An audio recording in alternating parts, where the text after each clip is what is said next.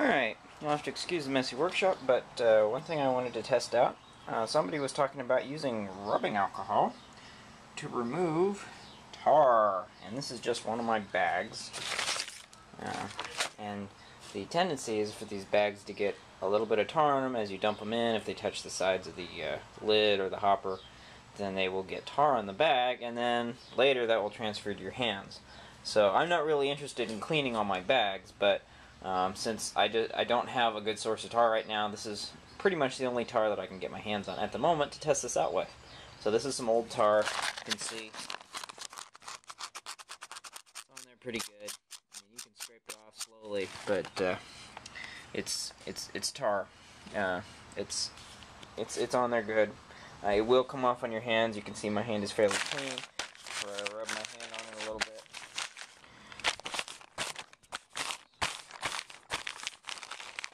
Especially on a warmer day. Yeah. okay, so I'm not getting that much on it from here. So this tar is actually fairly cold, so it's it's sticking to the bag. It's staying fairly solid. So what I wanted to test out was uh, just dipping a little bit of rubbing alcohol onto a paper towel. Okay. And just see what happens. I have not tested this before. Okay.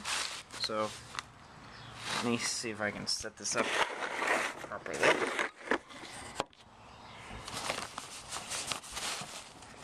Okay, so here is a spot. Know if you can see this, see this whole area here. And I'm just gonna get a clean part of the rag, get some rubbing alcohol on it, and start wiping this down and see what happens.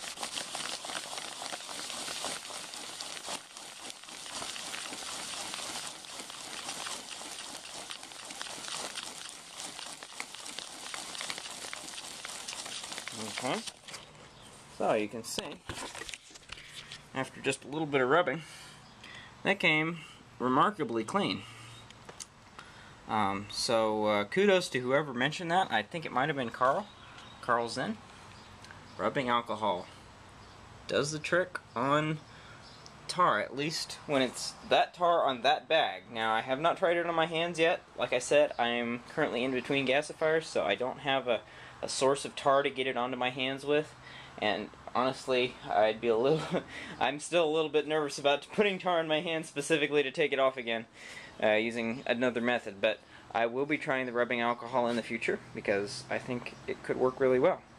And uh, there you go. I mean, that's that kind of speaks for itself.